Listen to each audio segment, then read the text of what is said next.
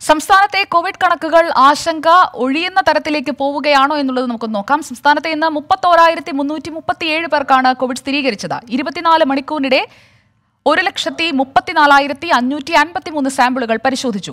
നാൽപ്പത്തി അയ്യായിരത്തി തൊള്ളായിരത്തി ഇരുപത്തി ആറ് പേരാണ് ഇന്ന് രോഗമുക്തരായത്. ടെസ്റ്റ് പോസിറ്റിവിറ്റി നിരക്കും കുറഞ്ഞു വരികയാണ്. ഇരുപത്തിമൂന്ന് പോയിന്റ് രണ്ട് ഒൻപത് ശതമാനമാണ് ഇന്നത്തെ ടി പി ആർ. തൊണ്ണൂറ്റിയേഴ് മരണം കൂടി സ്ഥിരീകരിച്ചതോടെ ഇതുവരെ സംസ്ഥാനത്ത് കോവിഡ് ബാധിച്ച് മരിച്ചവരുടെ എണ്ണം ആറായിരത്തി അറുന്നൂറ്റി പന്ത്രണ്ടായി. മലപ്പുറത്ത് നാലായിരത്തി മുന്നൂറ്റി ഇരുപത് പേർക്കും എറണാകുളത്ത് മൂവായിരത്തി അഞ്ഞൂറ്റി പതിനേഴ് പേർക്കും തിരുവനന്തപുരത്ത് മൂവായിരത്തി മുന്നൂറ്റി അൻപത്തി അഞ്ച് പേർക്കുമാണ് ഇന്ന് കോവിഡ് സ്ഥിരീകരിച്ചത്.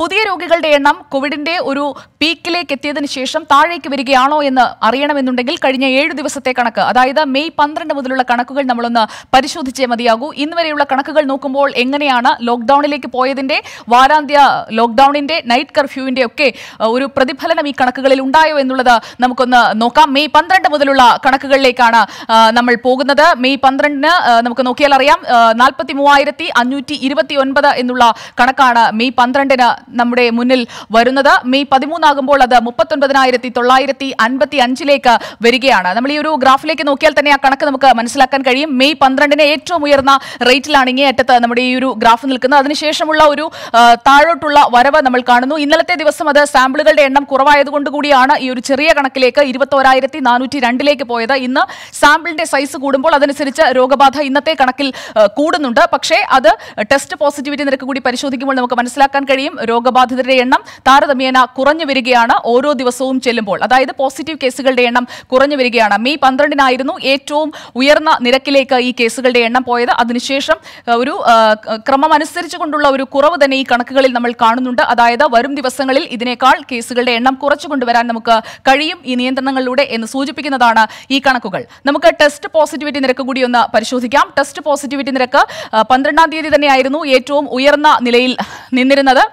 അതായത് പന്ത്രണ്ടാം തീയതി ഇരുപത്തി ഒൻപത് പോയിന്റ് ഏഴ് അഞ്ച് എന്നുള്ള ഈ ഒരു കണക്ക് നമുക്ക് കാണാൻ കഴിയും. ഇപ്പോൾ ഈ ഒരു ഗ്രാഫിന്റെ ഏറ്റവും മുകളിലാണ് നിൽക്കുന്നത്. ഈ ഒരു ഗ്രാഫ് ഇങ്ങോട്ടേക്ക് വരുമ്പോൾ അതിന്റെ ഏറ്റവും മുകളിലേക്ക് ഇരുപത്തിയൊൻപത് പോയിന്റ് ഏഴ് അഞ്ച് എന്നുള്ള കണക്ക് നിൽക്കുകയാണ്. അതിൽ നിന്ന് താഴേക്ക് ഇറങ്ങി വരുന്ന ഈ ഗ്രാഫ് ഇപ്പോൾ എത്തി നിൽക്കുന്നത് ഇരുപത്തിമൂന്ന് പോയിന്റ് രണ്ട് ഒൻപത് എന്നുള്ള കണക്കിലാണ്. അതായത് ഇന്നത്തെ ടി ടെസ്റ്റ് പോസിറ്റിവിറ്റി നിരക്ക് എന്ന് പറയുന്നത് ഇരുപത്തിമൂന്ന് പോയിന്റ് രണ്ട് ഒൻപത് ശതമാനമാണ്.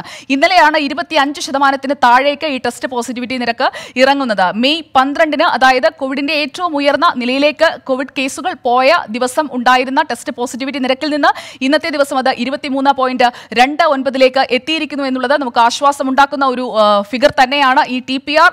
അടുത്ത ദിവസങ്ങളിലും കുറഞ്ഞു വരികയാണെങ്കിൽ മാത്രമേ രോഗവ്യാപനത്തെ നമുക്ക് പിടിച്ചു നിർത്താൻ കഴിഞ്ഞു എന്ന് പറയാൻ സാധിക്കുകയുള്ളൂ. അതുപോലെ തന്നെ മരണനിരക്ക്. മരണനിരക്ക് ഈ ഒരു കഴിഞ്ഞ ആഴ്ചയിൽ രേഖപ്പെടുത്തിയ അതേ ഉയർന്ന നിലയിൽ തന്നെ ഇന്നത്തെ ദിവസവും നിൽക്കുന്നു എന്നുള്ളതാണ് ഈ ഒരു കണക്കിൽ നിന്ന് നമുക്ക് മനസ്സിലാക്കാൻ കഴിയുന്നത്. അതായത് ഇന്നത്തെ ഈ ഒരു തൊണ്ണൂറ്റിയേഴ് എന്ന് പറയുന്ന മരണനിരക്ക് അത് മെയ് പതിമൂന്നിന് നമ്മൾ കണ്ടതാണ്. ഈ ഒരു കണക്കുകളിലൂടെ നമ്മൾ പോകുമ്പോൾ മനസ്സിലാക്കാൻ കഴിയും.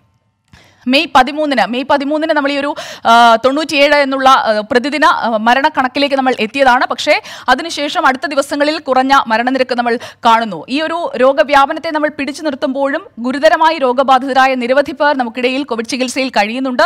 അതിനനുസരിച്ചുകൊണ്ട് മരണനിരക്ക് കൂടി വരുന്ന ഒരു സാഹചര്യമാണ് മറ്റ് സംസ്ഥാനങ്ങളിലടക്കം നമ്മൾ കണ്ടുകൊണ്ടിരിക്കുന്നത്. പ്രത്യേകിച്ചും മഹാരാഷ്ട്രയിലൊക്കെ രോഗവ്യാപനം അറുപതിനായിരത്തിന് മുകളിൽ പ്രതിദിന കേസുകൾ ഉണ്ടായിരുന്നതിൽ നിന്ന് ഇപ്പോൾ മുപ്പതിനായിരത്തിലേക്ക് ആ കേസുകൾ താഴുന്നുണ്ട് എങ്കിൽ പോലും അവിടെ മരണനിരക്ക് കൂടി വരുന്നു എന്നുള്ള ഒരു പ്രതിഭാസമുണ്ട്. അതായത് ടെസ്റ്റ് പോസിറ്റിവിറ്റി റേറ്റ് കുറയുമ്പോഴും മരണനിരക്ക് കൂടി വരുന്നതാണ് പൊതുവെ കണ്ടുവരുന്നത്. ആ ഒരു സമാനമായ രീതി തന്നെയാണ് നമുക്കിപ്പോൾ കേരളത്തിലും കാണാൻ കഴിയുന്നത്.